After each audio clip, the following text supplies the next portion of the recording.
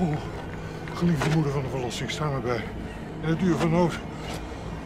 Ik bid u dat ik door de kracht van de Heilige Geest gezegend word. De